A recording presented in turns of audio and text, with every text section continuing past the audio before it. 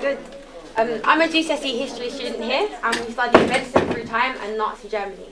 So we're just going to reenact an early 19th century amputation for you guys. Okay, so surgery in the early 19th century wasn't like it is today. The operating theatres were basic and very unhygienic. No one knew about germs, so none of the instruments were ever cleaned. There was no way of stopping bleeding, and pain relief was non-existent. As a result, patients often died of shock, blood loss, or infection. You will now meet Hannah Dyson. She's an 11-year-old girl who's been working in factories since she was six years old. Earlier today, she had a terrible accident and her leg got caught in a machine. a factory worker's bringing her in to try and save her life, but she's lost a lot of blood. If anyone doesn't like the sight of blood or is a bit sensitive, oh. I recommend you leave now. Quickly, we're losing her. Come on, quickly. Where's the surgeon? I'm here. We're going to have to cut it off immediately, otherwise we're going to lose her. Keep on still. Give us some brandy. That should help with the pain. My brandy hurt a lot. Give me some. Okay, she's out. I've forgotten how to do it. We're training. I didn't have any training. Speed man. I did it under three minutes last time. Okay, I'm going in. Are you ready?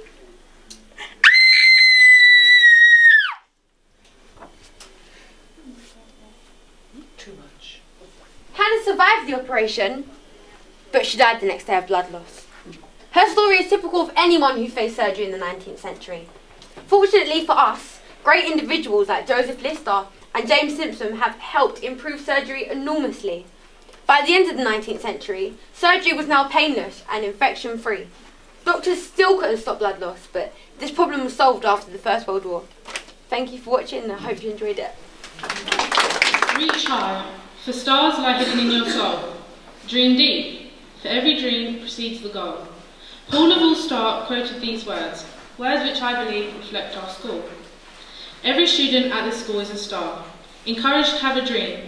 From our peers to our teachers, every aspect of this school aids us to reach our hopes and dreams. What we aspire to do, Harris Academy Bromley helps to achieve.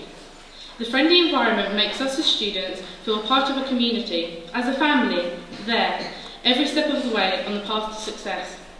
Success. It's very much encouraged here, and being in Year 11 as I am, success is what I work for. The supportive staff here have made my school life a pleasant and enjoyable time for me.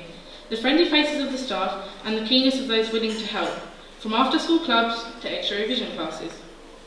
This has made my journey in the school a time for me to be able to reflect on in the future, to see how great my school life at Harris Academy Bromley was.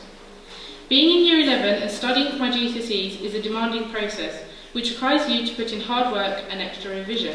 But with the support I receive from my teachers, it's very hard for me to complain about having to do it alone. My teachers have proved to be more than willing to help with any problems or difficulties I have had with my studies.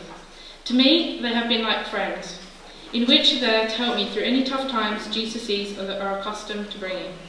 I can only truly praise the high level of teaching I witnessed within my school. So with this, I am proud to be a part of Harris Academy Bromley. As I mentioned, I am currently in Year 11. However, this is only my second year at this school. I previously attended a girls' school in Essex, in which it was a very good school. However, it lacked one thing that, in contrast, this school is bursting with sense of community. Here, I feel I belong. With my peers, I feel and have been treated as if I've been at this school since the beginning. The kindness my peers treat me with and the open mindsets they kept on my first day here astonished me. I would get random greetings from teachers and students, which in a sense made me feel less nervous about my first day here. Truthfully, I did, expect, I did expect the complete opposite of the warm welcome I received on my first day, as the previous reputation of the school's Cator Park did get me quite worried. But, as they say, never judge a book by its cover, so from this experience I have learned to read the pages first and discover the true meaning.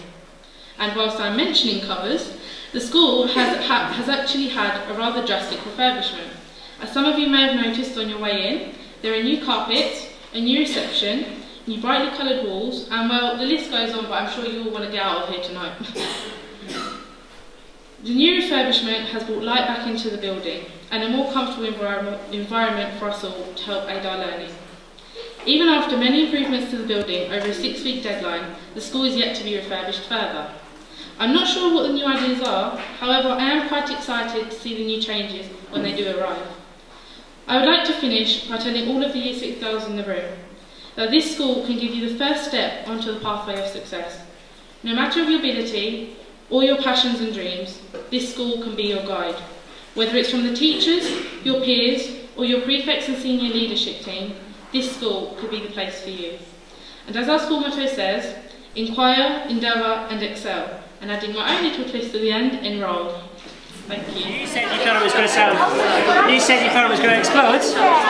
Let's see if she's right.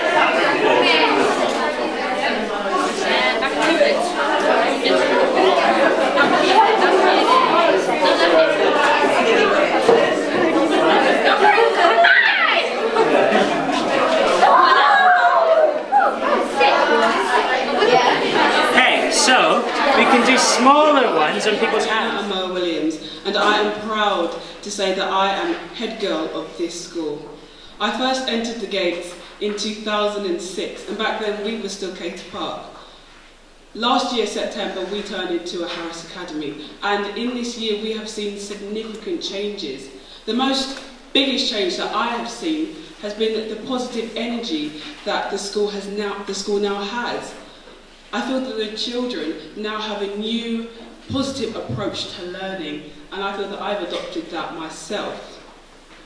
The school has offered me so much in the past year, and I feel that the school can offer your daughter the same opportunities.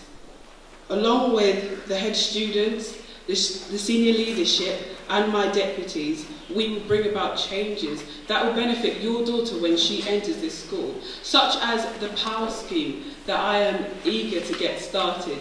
It's an anti-bullying scheme that your daughter will be able to access if she feels troubled or worried. And that will be able, that will be provided by us as post 16. We will be the friendly faces that your daughter will see day to day during school. And we are so happy to be able to build a relationship with the younger years because that is what school is about. It's about community, not just a few people, not just seeing the sixth formers and saying, oh, who are they? We want to get to know the younger years, and that is what we do. We get to know the whole school.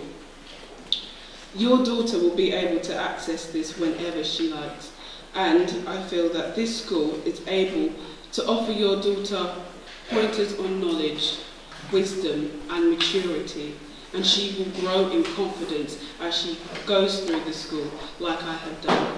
Thank you for listening. Okay, so from uh, here we do year seven and eight. Um, they do Um, 50 minutes a week. Your your pet has just died. And also the first general presentation to them, so that in the Okay, subject go. of time when they go on, we've got those skills You've back got a in. detention. Um, they we also do the lots of There you go. for this. So we've got Aladdin coming up. Um, You passed your also test.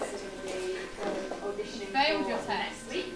Um, and that we're actually opening up and inviting to the local charity community that we're going to as well. Okay. Um, You're and angry because that someone is ate your year chocolate seven, bar. eight students, but it gives them the chance to shine as well and not Okay. trying to bat off the park with the old kids as well. And then later in the year we've been You're confused.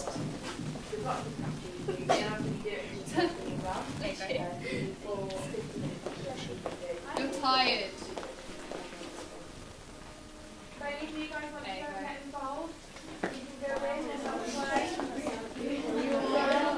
You're worried. Okay, so they come in now. Okay, go.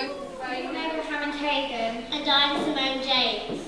Four weeks ago, we started at Harris Academy Bromley and it's a big change. The thing I was looking forward to most was meeting all of my new teachers and learning lots of new things. I remember when I came for the opening evening I was introduced me to my school. What I enjoyed about my opening evening here was the activities that were showing me what I do in my day-to-day lessons. What me drew, drew me in when Inventive Gadgets Academy has to pay for your lunch. You pay with your finger. Technically, it's a finger scan. Let me start with the positives. I've enjoyed all of my lessons, getting to know the academy and the amazing staff. It did take me a while to get to know the Latvic Academy and to be familiar with my timetable. However, that phase is past now. A Harris Academy Bromley will always be cared for by someone. I think it is great that Harris Academy Bromley starts off with the basics, like the things you learn in primary school, step by step. Then you are given a target level that all of your teachers know. The Academy encourages, encourages you to achieve your target. Or even better to exceed your target. Remember, to become a part of our house